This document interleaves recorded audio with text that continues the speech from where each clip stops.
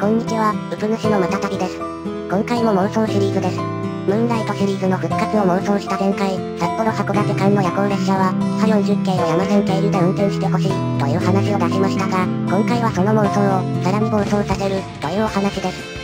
2020年と2021年の夏に、伊豆急のロイヤルエクスプレスを使用した、北海道一周のクルーズトレインが運行されたのは記憶に新しいですが、現状の JR 北海道に、新たなクルーズトレインを自力で製造する資金力がないことは、誰もが知るところです。雄大な景観と美食の宝庫、北海道こそクルーズトレイン向けの土地であることは、まさにロイヤルエクスプレスのツアーが証明してくれたのですが、肝心の車両がない、そして買えないというのは、大変に残念であります。苦肉の策として、2021年の10月にキハ261系5000番台、浜ナス編成、及びラベンダー編成を使用して、ロイヤルエクスプレスのツアーをなぞるような、同等一周号を運転しましたが、実は JR 北海道にはそれよりも素晴らしい車両があります。そうです、キハ40系です。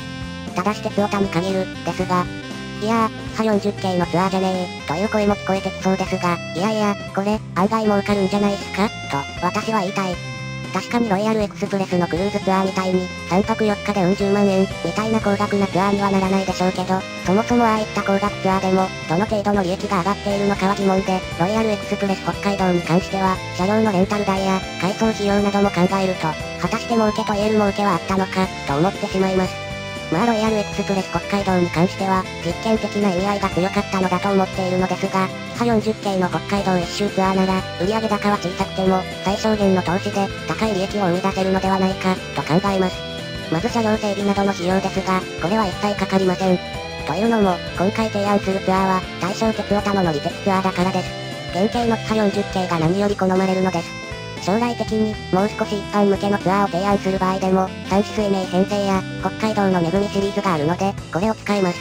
それではここから、キハ40系で行く、鉄オタ向け北海道一周号、その詳細を妄想していきたいと思います。まずツアーの概要からです。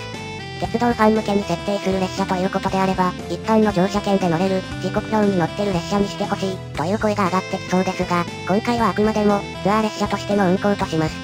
というのも、乗車券で乗れる列車では、他に特急券的な料金を徴収するとしても儲けが出しにくいし、途中駅での乗降が増えると、座席の管理も難しくなり、利益率も下がります。ツアー列車であれば、乗車体験以外の価値を付加することで、包括的に乗車券、プラス特別料金以上の価格を設定しやすいですし、全員に全区間利用してもらうことで、座席使用の重複や機械損失も減らせます。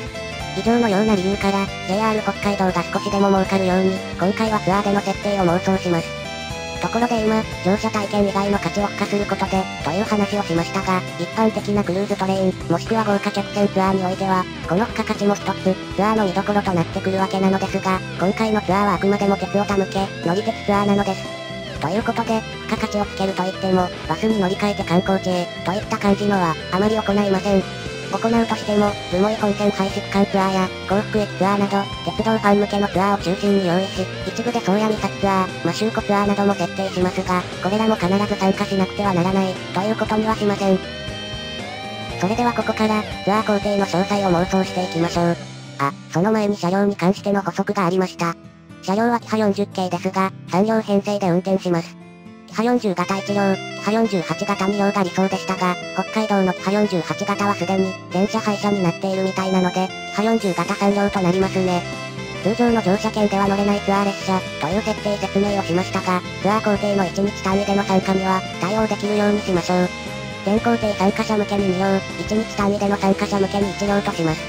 ツアーの全工程は1週間、つまり7日間のツアーとなります。ツアーに1日単位で参加する場合、本は当日の朝から夜までですが、夜行運転の設定もあるため、その場合は前日の夜からの丸1日となります。また全工程投資参加も、1日目から7日目以外に、参加は初日と2日目、解散は6日目と7日目が選択できます。詳細はこれからお話しする、ツアー工程の中で説明します。もう一つ、このツアー列車を設定する日に関して、運行時期は夏、5月から10月にかけて、計10本設定します。2日目から6日目での投資参加も可能とするため、社会人でも参加しやすいよう、3日目から5日目を金土日、もしくは同日月となるように設定します。5月はゴールデンウィーク明けの第2週と第4週、6月も第2週と第4週、年によっては1ヶ月が5週になることもありますが、基本、各週スパンでの運行とします。7月も第2週と第4週の2回、8月はお盆の時期に設定をしないため、第4週のみの運転となります。9月も第2週と第4週、10月は第2週のみで、その年のツアーは終了です。日の出や日没に合わせての運行もあるので、ツアーの時期によって、部分的に時刻表が変わるところもあります。それでは改めまして、ツアー工程の詳細に関してです。ツアー初日、スタートは札幌駅ではなく、函館駅からです。函館を12時5分に出発、新函館北と12時27分に到着、12時半に出発です。これは東京駅8時20分発、はやぶさ7号に合わせた設定です。一つ前がはやぶさ1号ですが、東京駅が6時32分と早すぎるためです。もちろん、函館空港の利用もできますし、函館で電泊しての参加も OK です。新函館国と出発すると間もなく、お昼のお弁当が配られます。工程中、いくつかの食事はツアーに組み込み、JR 北海道の売り上げにつなげます。鉄道ファンの中には宿泊や食事を節約して、少しでもファン活動にお金を回したい、と思っている人もいるのと、そもそもテーブルなどの設備がない派40系ということもあるので、本、ツアーで提供する分の食事は駅弁とします。ここで提供されるのは、函館駅の名物駅弁、ニシン磨き弁当です。魚が苦手な方には、幕の内系のお弁当が用意されます。派40系なので、車内に物販カウンターなどはありませんが、このツアー列車にはアテンダントが乗務して、車内販売も担当します。大沼公園経由で北上し、森駅には13時20分到着。駅弁を食べたばかりですが、停車中、森駅のホームでイカ飯の販売があります。13時半出発、おしゃまんでに14時半到着です。ここもホームで物販があります。一般観光客とは違うので、売る側も商品に工夫が必要になりますが、貴重な交流の場になりますし、地域住民が改めて鉄道による活性化を考え直す機会にもなると思われます。この先は特に説明を挟みませんが、このような地域と連携した交流会は、この先も工程中の随所に挟んでいくことにします。惣菜にしやすい名物や、お茶受けになりそうな土産物があれば、そういったものを販売しても良いでしょうし、単におもてなしのお見送りたいみたいな催しでも良いでしょう。地域を知ってもらう機会になります。話を戻して、おしゃまんでからは函館本線、いわゆる山線を経由して、初日は小樽を目指します。途中、ぐっちゃんと余市でも停車し、小樽には18時前後の到着とします。このツアーでは基本、宿泊施設の予約はツアー参加者に一任す。ることとします。先ほども述べた通り、鉄道ファンの中には趣味活動にお金を集中させたい人も多いので、鉄オタ向けの乗り鉄ツアーであれば、豪華な温泉旅館などは必要ないのです。食事に関しても、この日の夜はフリーにします。せっかくなので、小樽の有名寿司店に赴いても良いです。し、コンビニで節約も OK。北海道にしかないセイコーマートなら、コンビニでも旅気分を味わえます。ね。もちろん、宿泊施設の予約に不安がある人向けに、込み込みの設定も用意すると良いでしょう。ただ、それだけ押し付けるのでは鉄道ファン向けのツアーとは言えません。2日目は小樽駅を、通勤ラッシュも一段落した8時半頃に出発します。ホテルの朝食ブッフェ、または駅前の三角市場などで朝ごはんを済ませておきましょう。ツアーに朝ごはんはついていません。列車は函館本線を改装し、札幌駅に9時過ぎに到着して、ここで乗車扱いがあります。その後、列車は内部工場に入線し、ここで工場見学ツアーを開催します。営業列車が乗客を乗せたまま、工場に入線できるか否かは不明です。できる前提でお話ししています。その後は千歳線を南下、新千歳空港に11時45分頃の到着です。初日、函館からの参加が難しい乗客に対しては、2日目の札幌駅、もしくは新千歳空港駅からも、参加ができるような設定を用意しておきましょう。ところで近駅の新千歳空港駅に、ディーゼルのキハ40系が入線できるのか、という問題もありますが、新千歳空港旭川間、直通特急のアイデアが出ているくらいなので大丈夫、なのかな？新千歳空港からの乗客を拾ったら、その新特急のルート、鉄商線で追い分け、追い分けから室蘭本線で岩見沢、というルートで進みます。新千歳空港駅を出発後に、お昼の駅弁が配られます。新千歳空港駅で販売している駅弁から、事前にリクエストしておきます。岩見沢から函館本線、深川からは廃止も議論されている留萌本線へ入ります。かつて殺傷戦の分岐した石狩沼大輝、1999年に放送された朝ドラ、スズランの撮影で使われた海老島駅での停車、見学を経て、留萌には15時過ぎの到着です。留萌では日没まで停車します。希望者向けに、留萌本線廃止区間見学、有機鑑賞ツアーを設定します。夏至の頃の日没が19時15分くらいなので、留萌駅の出発は19時半過ぎとします。9月末と10月は日没が早いため、留萌駅でのツアーは有機鑑賞のみとなり、出発も18時台とします。この日は自由夕食です。ツアーに参加しなかった乗客は、列車に戻る前に市内の食堂で済ませておくか、コンビニを使用してもらいます。留萌駅でのツアーに参加した乗客は、買い物などの時間がないので、事前予約で、旭川駅の駅弁を手配しておきます。旭川駅に21時到着、この日はこのまま夜行運転がありますので、旭川駅で1時間半のフリータイムが設けられます。2日目だけ参加の乗客はここで解散となります。オホーツク4号、上り層や、もしくはライラック48号で札幌に戻れます。3日目以降も参加で、夜行列車に乗車する乗客向けに、駅直結の JR 園と提携して、温泉を利用できるようにします。同じく駅直結のイオンは22時までなので、母の夜長に必要な、夜食とお酒を調達しておきます。旭川の出発は22時40分頃、22時32分発、最終の名寄駅の後追いで、のんびり宗谷本線を北上します。名寄0時過ぎに出発。4日し組も多そうですが、翌日は日中の宗谷本線を南下しますから、そこで落ちてしまわない程度にしておきましょう。車内の照明ですが、名寄出発後に変更します。キハ40系の照明にそういう機能があるのかはわかりませんが、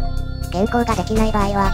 夜間にお手洗いに行く人もいるでしょうから、明かりはつけたまま、になるのでしょうか。また夜行運転区間にはアテンダントさんは乗務しません。当然、車内販売もありません。途中駅で時間調整を行い、幌延駅を日の出時刻に合わせて出発します。5月から7月は幌延を4時に出発します。稚内駅で稚内5時20分発の始発を待って、稚内には6時に到着です。8月と9月は幌延を4時半に出発します。やはり稚内駅で稚内5時20分発の始発を待って、稚内には6時に到着です。10月は幌延を5時に出発します。稚内からの始発とは兜沼駅で行き違います。南稚内でサロ別2号と行き違い、稚内には6時50分の到着です。稚内到着後、午前中はフリータイムとなります。宗谷岬へのツアーを設定しますが、参加は自由です。日本最北のマクドナルドにツアーなんかも面白そうです。折り返しは稚内11時半発。この日は午前中のフリータイムが十分あるので、お昼のお弁当はつけません。稚内駅で駅弁の販売がありますし、セイコーマートもあります。音イネップ駅では長めに停車して、天北線記念館の見学ができるようにします。道の駅のお蕎麦屋さんと提携して、音イネップ蕎麦の販売も行ってもらいましょう。そのまま宗谷本線を南下して、旭川に18時半前後に到着、3日目終了です。4日目は石北本線と専門本線を一気に駆け抜けます。旭川駅の出発時刻は8時10分です。4日目から参加の場合、札幌からのライラック1号で間に合います。この日もツアーの朝食は空いていません。網走到着まで買い物の時間もありませんが、車内販売で軽食を用意します。8時35分発のオホーツク1号があるので、これに追いつかれないよう頑張ります。なんとかエンガルまで逃げ切って、ここでオホーツク1号に道を譲ります。オホーツク1号のスイッチバックを撮影できるおまけ付きです。網走には12時半頃の到着、観光はなし、13時に出発です。お昼の駅弁は、網走駅森屋商店のホタテ弁当です。魚介類抜きの幕の内弁当も用意してもらいます。有名な北浜駅で30分ほど停車します。駅にオホーツク海を眺める展望台があります。譲り合ってご利用ください。北浜駅のレストラン、停車場でランチを食べたいというリクエストも多そうですが、キャパ的にさばききれないと思われるので、これには対応しません。知床斜里まで、オホーツク海が展望できる区間は少しゆっくり走行します。マシュー駅に15時半到着、ここでオプションのマシューコツアーを設定しますが、これに参加しない乗客を乗せたツアー列車は、そのままマシュー駅を出発してしまいます。16時15分、東路駅に到着。ここでは東路湖のカヌーオプションがあります。これにも参加しない乗客を乗せたまま、列車はマシュー駅へ引き返します。17時45分、2時間のマシューコツアーから戻った乗客を拾って、マシュー駅を出発。18時半、カヌーツアーに参加した乗客を拾って、東路駅を出発します。釧路到着は19時20分です。専門本線の新機能ダイヤが実施されるのは、5月から8月いっぱいまでです。9月、10月は日没が早いので、釧路湿原駅で停車して、近くの展望台へ案内します。この場合は釧路に18時半に到着、最終の大空12号に間に合いますが、新機能ダイヤ実施期間は、4日目だけに参加の場合も、釧路に1泊となります。ツアー列車は4日目から5日目にかけて、2回目の夜行運転を行います。釧路駅前には JR グループのホテルはありませんが、スーパーホテルあたりと提携して、温泉を使えるようにしてもらいましょう。夜行運転の行き先は根室です。釧路根室間は普通列車でも2時間半ちょっとだけど、翌朝のツアー設定もあるので、釧路は21時過ぎに出発します。途中駅で時間調整したり、ゆっくり走行して、根室には深夜1時前に到着します。そのまま車内でツアーの時間まで仮眠することができます。根室でのツアーはもちろん、日本最東端の日の出ツアーです。もちろん参加は強制ではありませんが、これにはほとんどの乗客が参加しそうですね。根室、野サップ岬の日の出時刻、夏至の頃で3時35分、10月中旬で5時半です。これに合わせてツアーのバスを運行します。折り返し列車の根室駅出発時刻は、10月の日の出時刻に合わせます。10月中旬の日の出が5時半頃なので、少し余韻を堪能して、野サップ岬を5時50分に出発。根室駅には6時半到着、折り返しのツアー列車は6時50分発とします。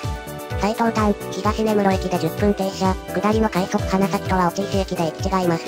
花咲線の絶景を堪能し、後ろには9時半の到着です。後ろではおよそ40分のフリータイムを設けます。和尚市場にはギリギリ行けます。駅構内に駅弁屋さんもあります。後ろから帯広までは、定期の普通列車に並結して運転します。後ろ10時11分発、これ車両は H100 型。キハ40系との並結は可能でしょうか途中の池田でワインツアーを設定します。ワイン上でのランチプランです。これに参加しない乗客を乗せたツアー列車と、定期の普通列車はそのまま出発。帯広には13時19分に到着です。5日目は、野サップ岬ツアーで朝が早かったので、ツアー列車の日程はこれで終了です。帯広でのホテルも各自手配となります。帯広ではホテルチェックインまでの時間で、幸福駅ツアーと、四コロ線のタウシュベツ川橋梁の見学ツアーが行われます。四コロ線ツアーは、帯広駅前に戻ってくるのが19時過ぎくらいになるのでご注意ください。5日目のツアー列車の行程は終了としましたが、池田駅のワインツアーに参加した乗客を迎えるのに、帯広池田を1往復します。どのオプションツアーにも参加せず、この往復列車に乗るというのも OK です。専門本線の新規ロダイヤも同様に、オプション料金は発生しません。6日目は、帯広駅を8時半に出発します。朝食は乗車前に各自で済ませておいてください。後発の十勝4号、対向の大空1号を待機し、新徳には9時40分頃に到着します。少し停車してから関商線に入ります。関商線内は行き交う特急列車に道を譲りながら、のんびりと歩を進めます。お昼には、帯広の豚丼弁当が用意されます。途中駅での長時間停車やツアーの設定はありません。夕張支線が残っていれば、と思ってしまいますが、ないものは仕方ないです。追分駅に12時半に到着。室蘭本線に転線し、苫小牧に13時です。ここから向川までのわずかな区間ですが、日高本線の旅です。日高本線には行き違い設備のある駅がないため、向川13時4分発の列車の到着を、苫小牧で待つことにします。13時34分に到着、入れ替わりで13時40分頃、向川に向けて出発します。向川到着は14時過ぎ、少し停車して折り返そうとすると、苫小牧14時33分発の列車と勝ち合ってしまいます。なのでここは、苫小牧14時33分発の列車を向川駅で待ちます。向川駅、静内寄りの線路はまだ生きているみたいなので、苫小牧14時33分発の列車が到着する前に、ツアー列車に乗車してもらい、静内寄りの線路を引っ込み線として利用し、駅舎寄りの91番線に転線。そこで苫小牧からの定期列車を待ち、到着後に入れ替わりで先に出発します。実はこの日の朝、帯広駅から襟裳岬へのバスツアーが出発しています。鉄オタ向けの乗り鉄ツアーなので、このバスツアーに参加する人は少ないと思われますが、襟裳岬をぐるっと回って、向川駅でツアー列車に戻れるというのは、ちょっと十津川警部のトリックっぽいので、西村京太郎トラベルミステリー好きな、やや年配の乗客の中身は、このルートを辿ってみたいと思う人もいそうですね。帯広駅から襟裳岬経由、向川駅まではおよそ275キロです。信号停止もほとんどない北海道なら、バスでも5時間くらいの距離です。ツアー列車と同じ、8時半に帯広駅前を出発すれば、襟裳岬で観光とランチを楽しんでも、十分にトリックは成立しそうです。犯人たちを乗せたツアー列車は、苫小牧に15時半到着、千歳線を北上して南千歳には16時に到着です。新千歳空港から各地へ戻る乗客は、ここで下車することができます。南千歳を出発したら再び関商線に入ります。追分から室蘭本線、岩見沢から函館本線で、札幌には18時半に到着です。最終7日目に参加しない乗客はここで解散となります。最後の夜は夜行運転です。21時40分、函館本線を小樽に向かって出発します。小樽は22時30分発、最終のくっちゃん駅を見送ってからの出発です。途中、余市、くっちゃんで運転停車を挟みながら、山線をゆっくり進みます。長万部に深夜1時半到着、スイッチバックして2時前、東室蘭方面に出発します。東室蘭には3時過ぎに到着して、ここで時間調整します。東室蘭駅の出発時刻は5月から7月までが3時半、8月と9月が4時、10月が4時半です。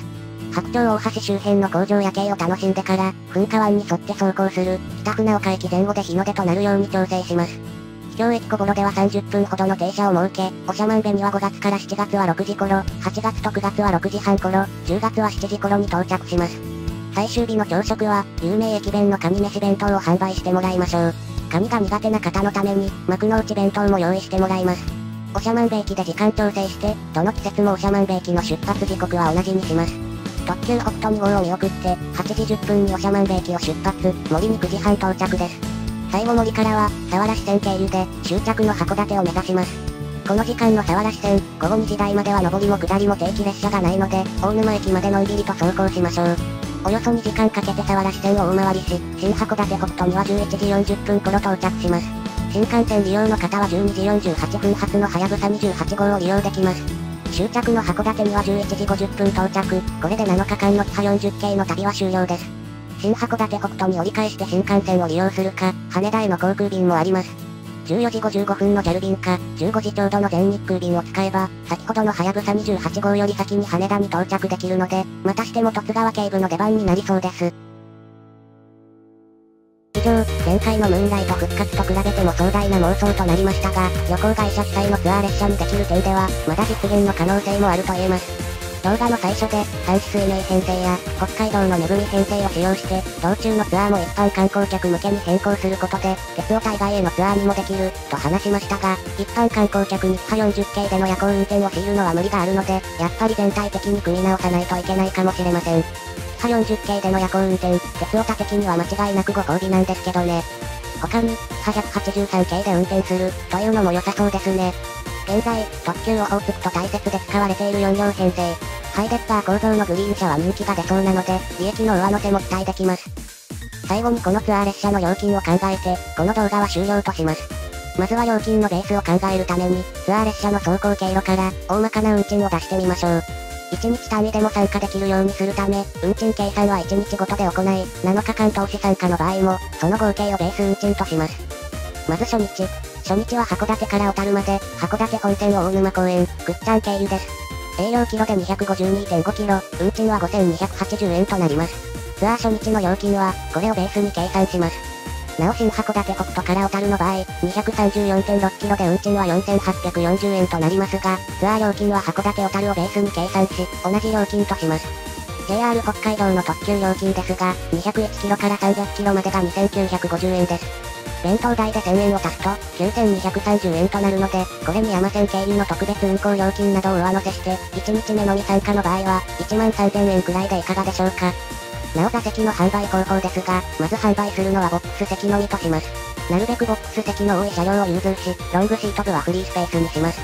各ボックス席の定員は2名までとしますが、家族やグループの場合は、1つのボックス席に4人まで受け付けることにします。この場合、夜行運転時にはロングシートも利用してもらいます。1人参加の場合も、各ボックス席2名までの相席となります。夜行運転もあるので、1人参加の男女が、同じボックス席にならない程度には調整します。2日目は新千歳空港駅と留萌駅で2回、スイッチバックがありますが、折り返しの旅に初乗り運賃にはせず、折り返しも含めた距離を合計して計算します。南千歳新千歳空港の往復は計算せず、そのまま関商線乗り入れとします。留萌線の往復は、往復の距離を計算に含めます。小樽から南千歳、関商線と室蘭本線で岩見沢、そこから旭川。途中で深川留萌の往復、すべて合計すると距離は332キロとなります。通常は小樽から留萌と、留萌から旭川の乗車券に分かれるのですが、今回は、合計332キロに対する6490円を、2日目のベース運賃とします。特急料金も332キロで計算、3170円となりますので、合計が9660円です。これに昼食のお弁当代と、内部工場見学ツアー代金を足して、2日目のツアー代金は1万5000円とします。新千歳空港から参加の場合は、小樽発と比べて距離に差が出ますが、本1日のツアー料金は、乗車場所に関わらず同一とします。ただこの場合、内部工場の見学ができないので、その分を少し安くして、2日目、新千歳空港から参加の料金は1万2000円とします。また留萌駅からの、留萌線廃止期間、アンドリュー期間賞ツアーはオプションなので、これは別料金となります。続いて3日目ですが、2日目から3日目が夜行運転となるので、3日目のみ参加の場合は、この夜行運転からの参加となります。3日目は旭川稚内の往復となるのですが、ここは往復距離の合計ではなく、片道運賃 ×2 でベース運賃を計算します。旭川稚内は259.4キロ、運賃5940円、特急料金2950円です。それぞれ往復運賃で合計すると、1万7780円となります。初日、2日目と比べると、随分高くなってしまいましたが、夜行運転という特別体験もありますので、これがベースで問題ないでしょう。ということで3日目のツアー代金は、ジャスト2万円とします。宗谷岬ツアーはオプションなので、別途料金となります。1日とは言っても前日の夜からで、貴重なキハ40系の夜行運転ですからね。鉄オタ的には安すぎるくらい、じゃないでしょうか。4日目は旭川から関北本線、専門本線経由で釧路までの片道運賃と、その距離に対する特急運賃で計算します。